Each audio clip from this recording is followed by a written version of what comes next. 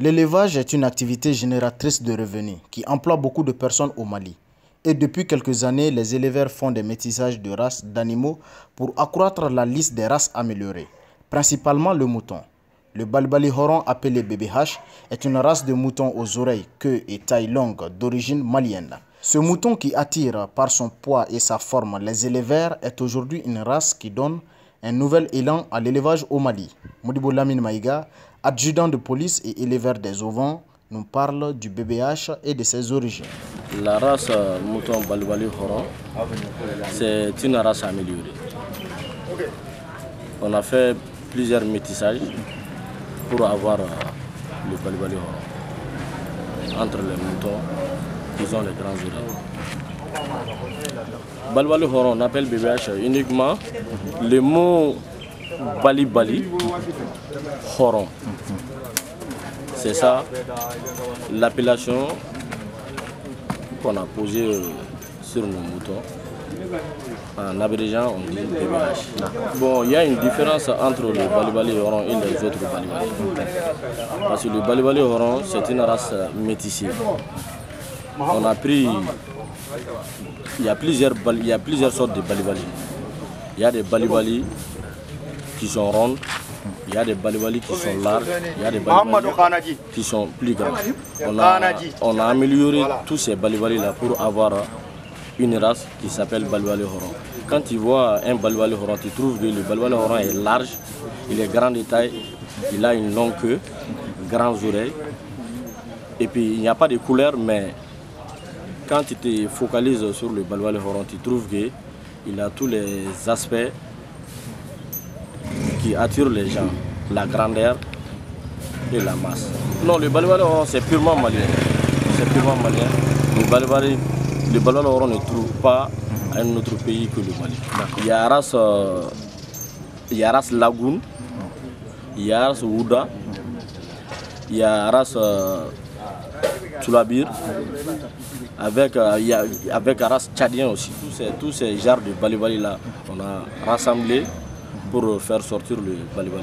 Bon, le je peux dire que le existe depuis euh, 2017 à nos jours. Ah, si un éleveur veut avoir euh, du BBH, ça, il n'y a pas de problème. Le BBH, au Mali, il y a plein d'éleveurs qui font l'élevage du BBH maintenant, au Mali. Bon, tu n'as pas pour avoir un BBH, tu n'as pas de problème. Même au, au Garbal, tu peux trouver un BBH là. Le prix moyen d'un BBH, ça commence, le bas prix, ça commence de 200 000 au-delà de ça. Bon, c'est comme les aliments bétail comme, comme auparavant hein, habituel.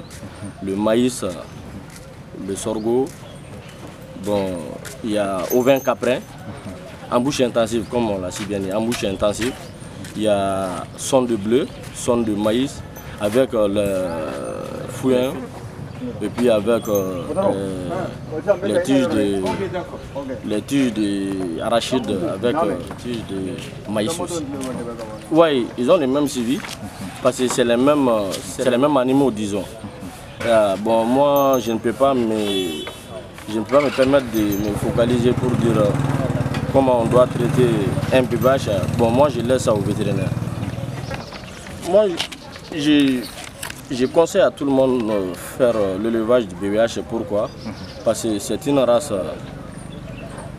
qui a plein de potentialités. Il est, il est, il a, il est grand de taille, il est beau, élégant, il est costaud. Bon, vraiment, parmi les autres races, quand tu vois un BBH, vraiment, tu es attiré. Ouais, ça peut réduire, ça peut réduire la production de saumage. Moi je, peux, moi, je peux dire ça. Parce que moi, j'ai vu plein de jeunes maliens, ils sont pauvres, ils ne font qu'ils ne vivent que de ça. Ils ont des belles voitures dans ça, ils ont eu des belles voitures dans ça, ils ont eu des maisons dans ça. C'est pour cela, il ne faut pas, il faut pas s'asseoir, regarder les gens ou bien moi j'ai un diplôme de juriste, il faut que je devienne juge. Non, il ne s'agit pas de ça. L'appétit vient en mangeant. Le Mali c'est un pays de l'élevage.